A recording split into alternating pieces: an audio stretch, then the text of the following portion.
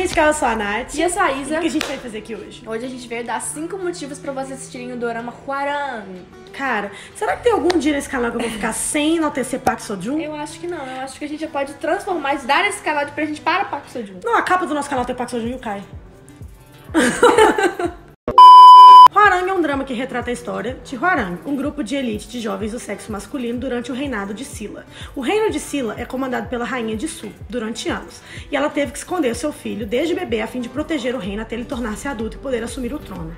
Tomada pela ambição, ela resolve criar o Hwarang, um tipo de exército formado por jovens cavaleiros das famílias influentes da época, o que ajudará a manter o seu poder e seu reinado. Esse é um dorama que foi ao ar em 2016 e aqui nós vamos trazer os motivos pra você assistir esse dorama. E o primeiro deles é o elenco, né, gente? Por favor, vamos começar com o personagem principal é nada mais nada menos que Park Seo-joon.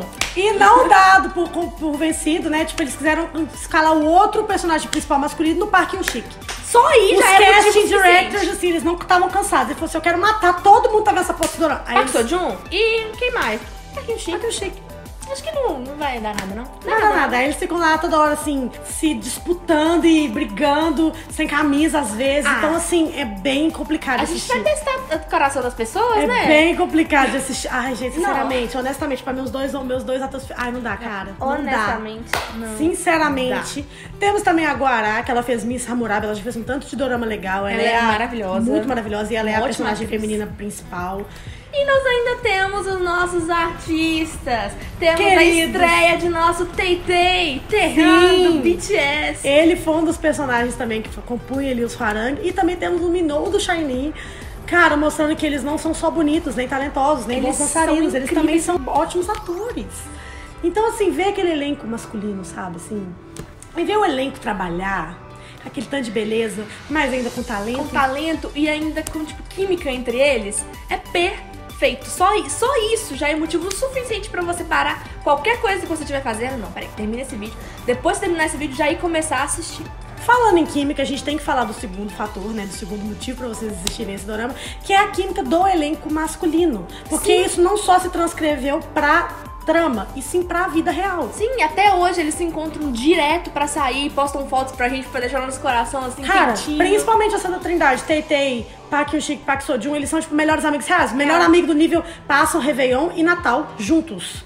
É, tipo, nesse nível de melhores amigos. Todo dorama, não tem um dorama do Park Seo-joon ou do Park Hyun-sik que o Tay não manda uma- um, café, um carro de café pra eles. E não tem um comeback do BTS que os meni- na mesma hora É eles postam- panfletando, não adianta. É isso que Cara, o Park levantando. Hyun-sik tava no exército e eles foram viajar todos os meninos e eles colocaram o Park Hyun-sik na foto.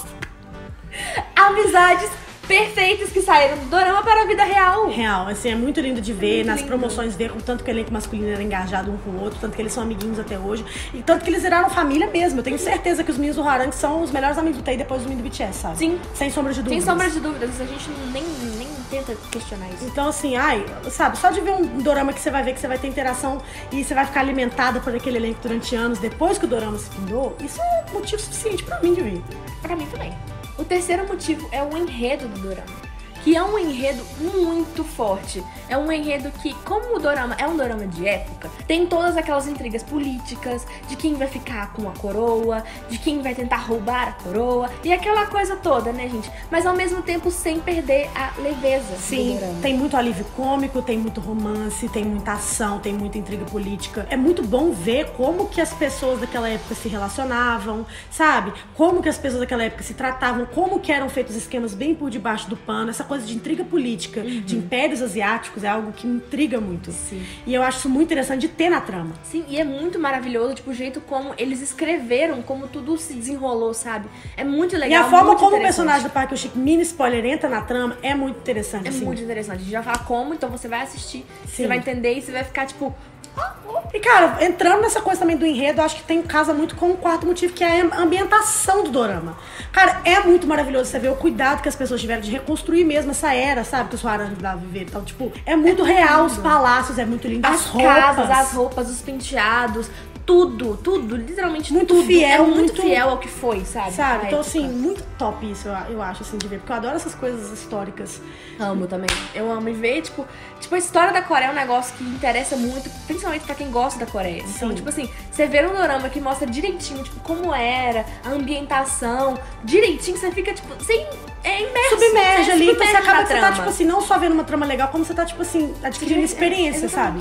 Por último, mais não menos importante, a gente tem que falar de trilha sonora. A gente é um canal de música, né? A gente Sim. fala de K-pop, a gente fala de música, como não falar de trilha sonora? A gente tem que Principalmente enaltecer. quando a gente tem o Vi na trilha sonora, cara. Junto com o Jin, cara. Que deram pra nós um dos maiores OSTs of all time, né? Que é a música principal do Dorama.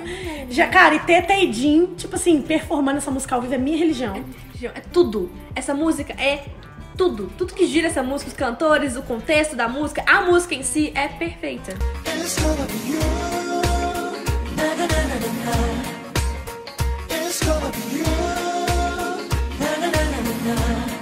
E a galera não só satisfeita com isso, também fizeram o Park Hyun-sik e o Park Seo-joon terem trilhas sonoras individuais, porque eles também cantam e tal, o Park Hyun-sik já foi do Zeia e tal.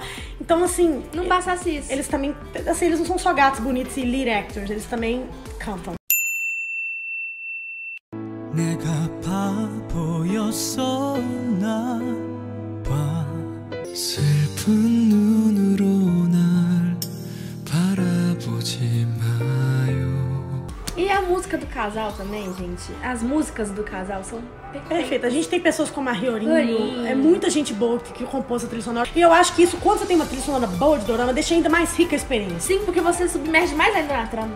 Imagina aquela cena tensa, tocando aquela música que você não consegue nem desgrudar. E o episódio não acaba quando ele termina, porque depois que ele termina, você vai ficar ouvindo as músicas e lembrando dele. Então, assim, isso é a receita pro sucesso. Você pega um tanto de homem gato, que se adora na vida real também, que são ótimos atores, com uma ambientação fantástica, um enredo legal e trilha sonora boa, pra mim, não sei por que você não viu. Pelo amor de Deus, vai assistir. Não tem motivo pra você não assistir.